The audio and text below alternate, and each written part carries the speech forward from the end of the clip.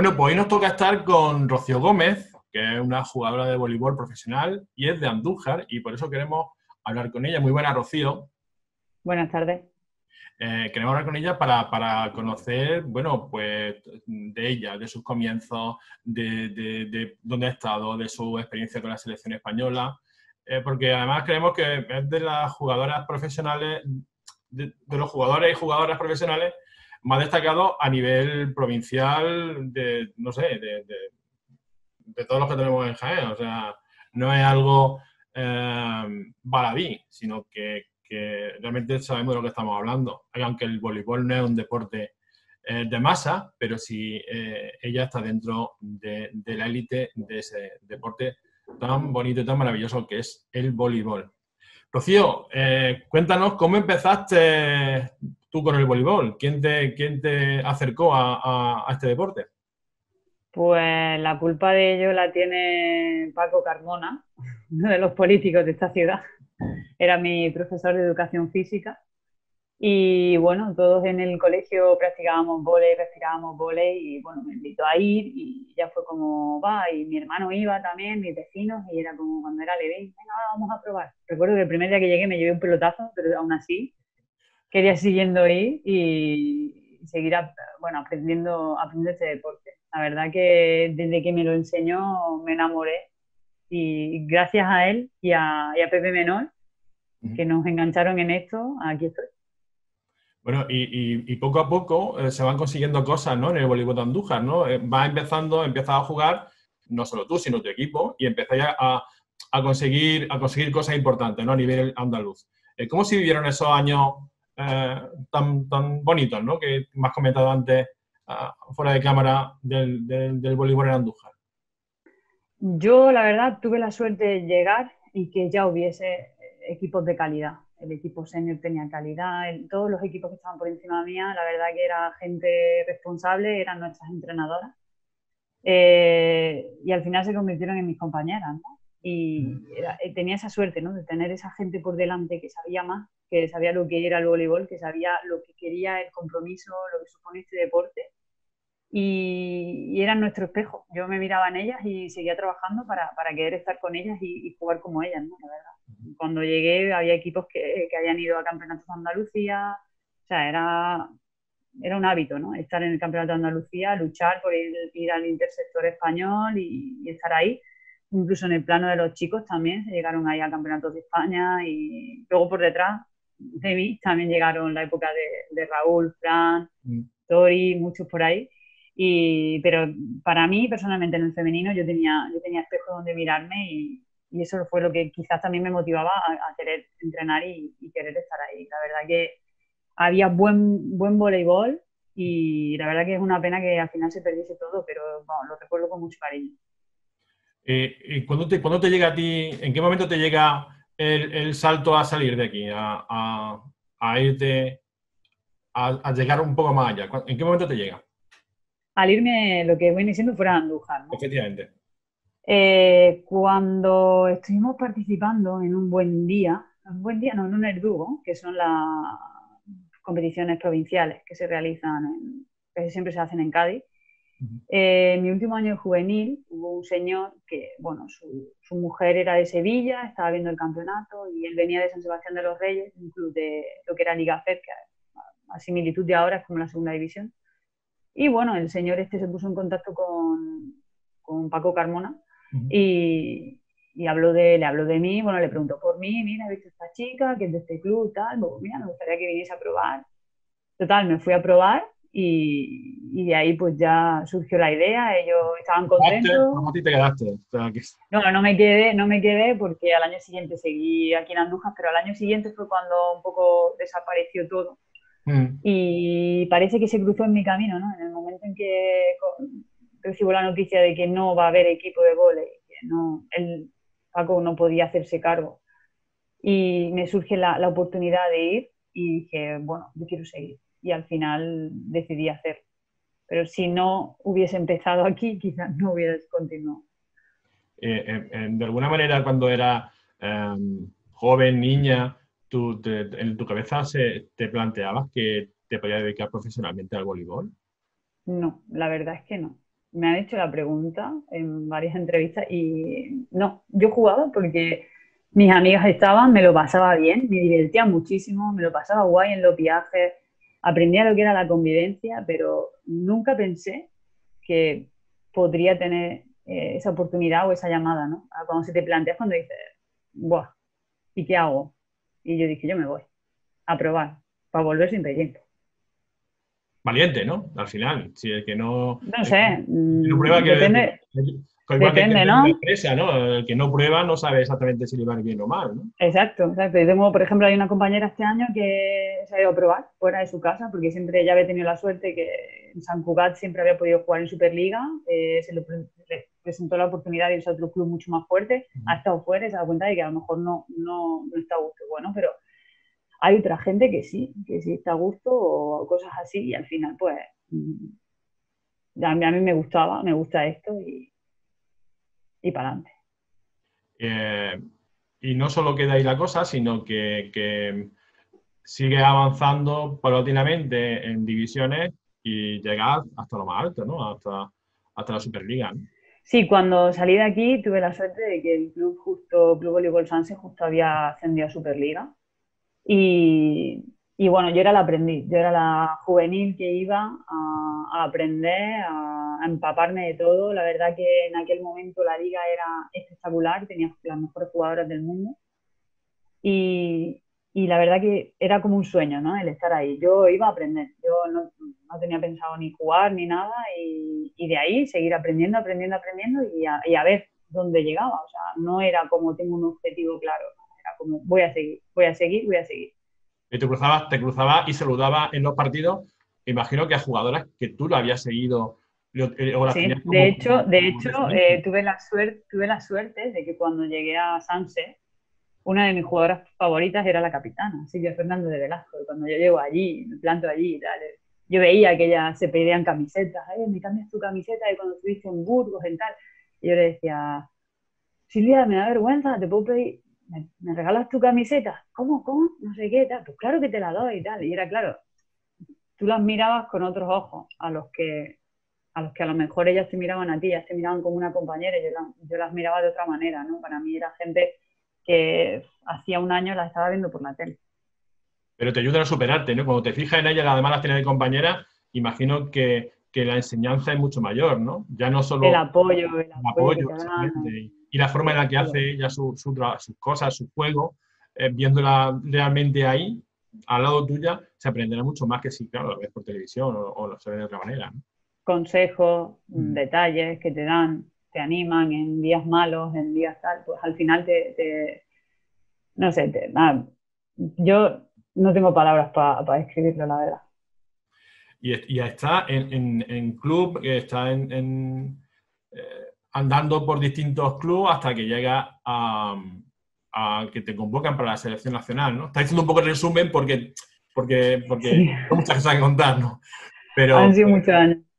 Han sido muchos años, pero, pero también eso debe ser eh, un momento importante en la vida de una persona, ¿no? De un jugador, ¿no? Que, que lo convoquen para la selección española tiene que ser, eh, esa llamada tiene que ser muy especial, ¿no, Rocío? yo lo recuerdo y, se me ponen los pelos de punta aún. O sea, cada uno supongo que lo recordará a su manera, pero la verdad que en el momento en el que me dijeron que me metían en esa convocatoria de un pre-europeo que había en mm. mayo, era como, ¡buah!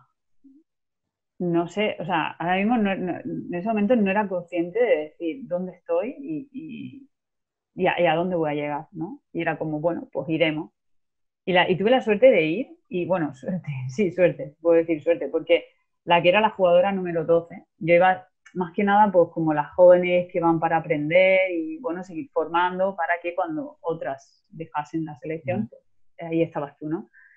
Y una tuvo la mala suerte de lesionarse, se hizo un 15 justo días antes del pre-europeo y al final el seleccionador contó conmigo como esa jugadora número 12 y para mí fue muy bonito el poder vivir ese pre-europeo que lo tengo grabado en la mente, porque fue muy complicado y, conseguimos darle la vuelta al resultado que teníamos.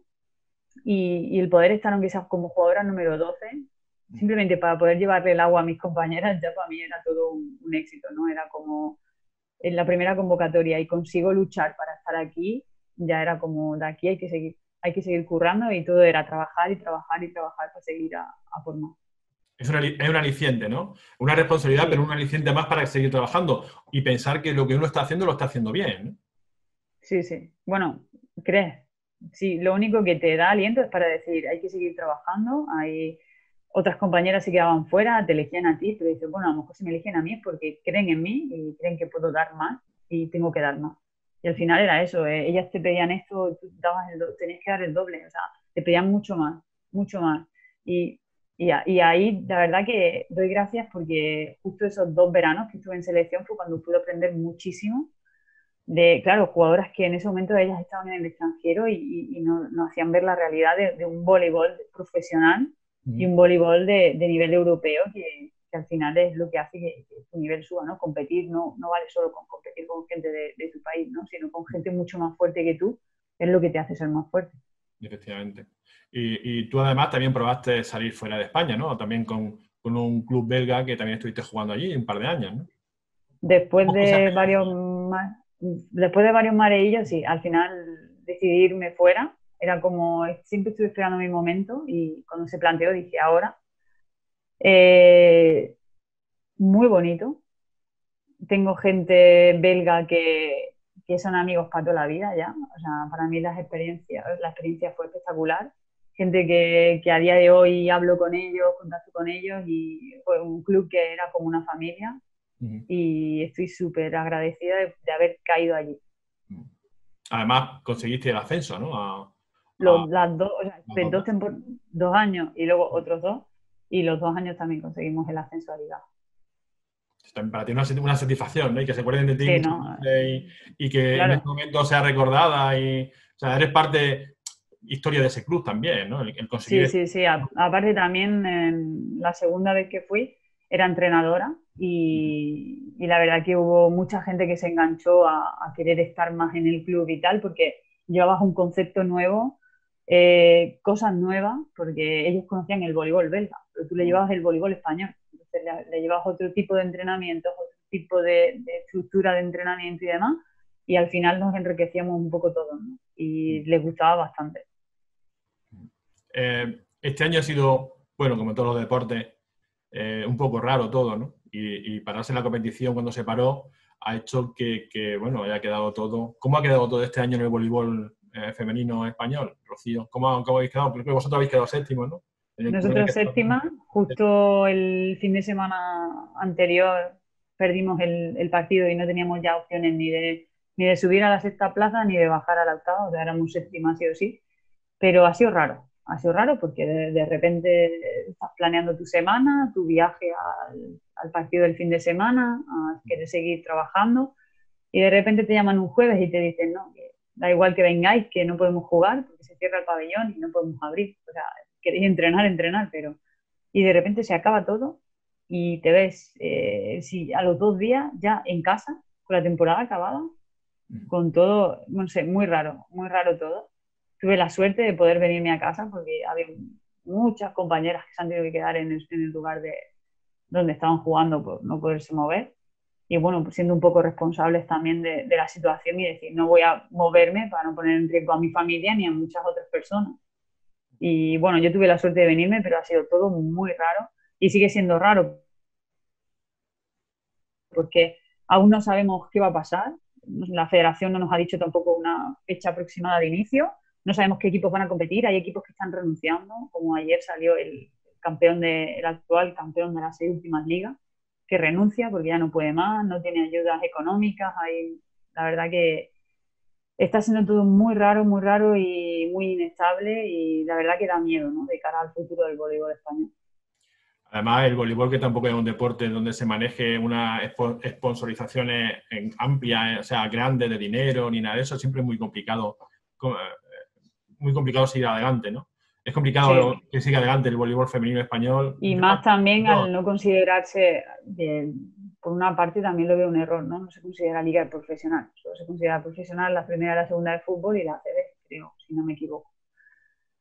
Eh, al no considerarse profesional, pues también, o sea, no, qué pasa con nosotros, qué pasa con los jugadores, qué pasa con los clubes, ahora qué, ahora qué, qué va a pasar en lo siguiente. O sea, es como todo mucha incertidumbre, estamos en junio, no sabemos tampoco qué va a pasar, no sabemos cuándo vamos a empezar.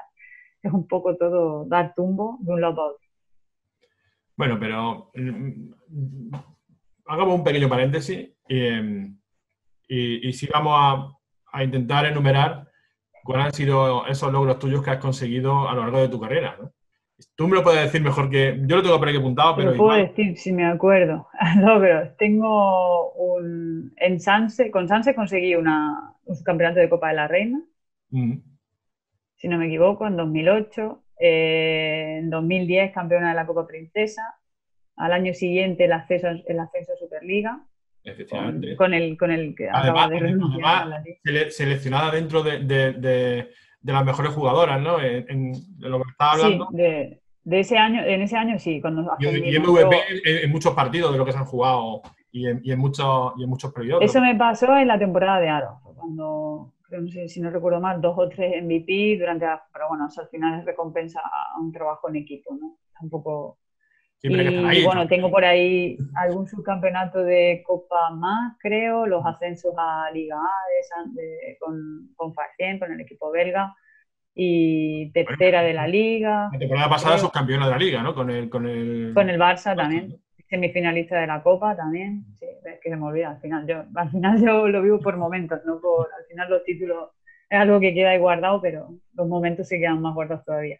¿Y te queda todavía... Eh para, por seguir, ¿no? Te quedan todavía años por delante para, para, seguir demostrando, ¿no? De momento un año más, solo puedo decir eso. Un añito más, después ya veremos. Pero, mm, ¿qué te va a ver? Como Joaquín, por ejemplo, vamos a hacer un símil con el fútbol. Como Joaquín que vaya por 38, 39. Una, una temporada. Siempre digo, o sea, la, tengo compañeras que me dicen, pero tú no has dicho que lo dejas, tú no has dicho que lo dejas, lo dejo, pero al final es como me salen oportunidades, proyectos nuevos que te ilusionan y, y, no puedes decir que no. Y al final estás ahí, estás ahí, estás ahí, pero bueno, mi pensamiento es este, que, este sea mi último año, pero no voy a decir que va a ser el último porque no sé qué va a pasar. O sea, yo voy a jugar este año y ya veré qué hago cuando acabe la temporada. Cuando estás, cuando estás tan lejos, has estado por tantos sitios, por tantos clubes, ¿echas de menos a Andújar? Sí, sí. Y lo que más echo de menos es la romería. O sea, soy romera al 100% y la verdad que lo paso mal cada mes de abril que no puedo estar pero pienso que al final será recompensado y ya viviré todas las romerías cuando, cuando no pueda estar. Pero sí, sí. Eh, también he leído que tú, tú, quieres seguir vinculada en el futuro al voleibol, ¿no? Pero hay alguna cosa que también te, te interesa el marketing. Eh, ¿se, puede, ¿Se puede compaginar marketing, voleibol, red? No sé, en estos momentos se puede, se puede trabajar en, en esos dos campos que te gustan, ¿no? Juntos. Sí, eh, para mí sería un, lujo poder trabajar en un patrocinio deportivo y cosas así, pero claro, las cosas están complicadas. Pero sí, a ver, no mucho, muchas personas lo preguntan no como entrenadora profesional de un equipo de Superliga o Superliga 2, pero sí de equipos amateur, la verdad que me ilusiona bastante poder transmitir todo esto que, que he aprendido, ¿no? Y a poder ayudar a personas que, que, bueno, con un poquito que le dé, quizá ellos mejoren y al final hacer del voleibol, vamos, a todos que, disfruten de esto. El voleibol que para ti es el, deporte más bonito del mundo. Para mí sí, para mí no existe otro. De hecho es que no puedo practicar otro porque no sé hacer otra cosa. Bueno, para baloncesto, para, para baloncesto también tiene una altura buena. Y... Sí, pero ¿qué pasa? Me pongo a botar el balón y, y, se me va. O sea, se me va. Se me va. Me pongo a botarlo y se me va. Y no, yo tiene que ser de toque no de mantener. ¿Nunca te dijeron qué quieres, baloncesto, voleibol? ¿Nunca, no probaste Nunca, nunca, nunca. El CV Andújar nunca, yo creo que nunca se fijó en... También era delgadita y bueno, es complicado, ¿no? En ese momento. Delgadita, bueno, para jugar a eso era como... De todas maneras no me iba a cambiar. Yo en el momento que vi el volei fue como amor a primera vista. Muy bien, pues yo te agradezco muchísimo que, que le hayas concedido esta entrevista, que estés aquí en Andújar Comunicación y esperemos que no sea la última vez que estés, que, podamos seguir hablando quizá de, cara a la próxima temporada para, para ver eh, dónde juegas, si juegas en el mismo equipo, si te va a algún otro distinto. Y bueno, queremos seguir eh, sabiendo de ti a lo largo del año para, para, que nos vayas contando cómo va todo y, y cómo te vas sintiendo. Muchísimas gracias, Rocío, por estar con nosotros. Gracias a vosotros, porque la verdad que hay pocos medios de comunicación también que se preocupen en intentar conocer más allá de, lo siento por los futbolistas, pero un poquito más allá de, del fútbol o, o baloncesto o deportes así que son más, más minoritarios, no, no se intenta tampoco involucrarse demasiado, la verdad que lo agradezco. Eh, y, estamos en contacto. Muy bien, pues muchísimas gracias. A vosotros.